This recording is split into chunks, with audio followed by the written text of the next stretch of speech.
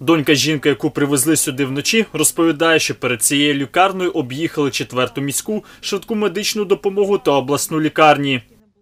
Ми наняли частний реамобіль і з кислородом ми маму в частному порядку ми самі привезли в Ніколаїв. Самі приїхали в больницю сюди. Тут уже ми просто-напросто нахально заїхали і нахально все.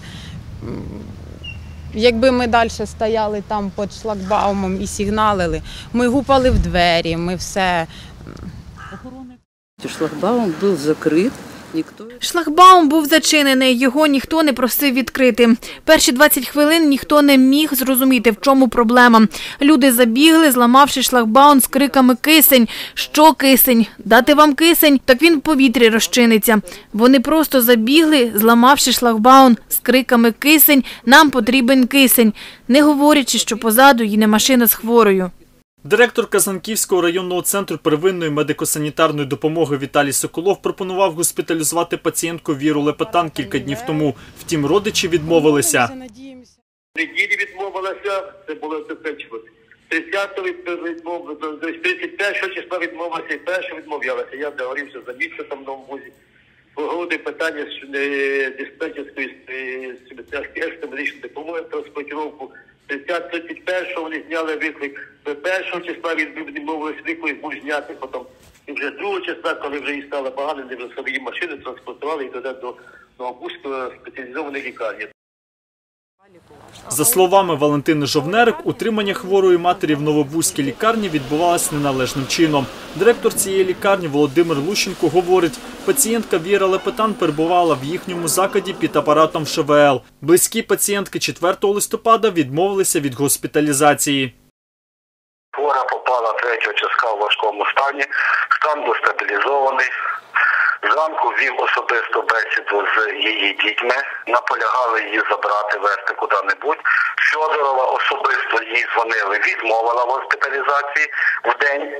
Родичів я оговорив, що маму в її стані вести не можна. Вночі вечором вони забігли всі трьох відділень, устроїли скандал, забрали маму і повезли, я не знаю, яким транспортом.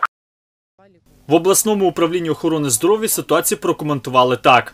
Управління охорони здоров'я обласної державної адміністрації стосовно якихось ситуацій екстрених за сьогоднішній день не повідомлялось.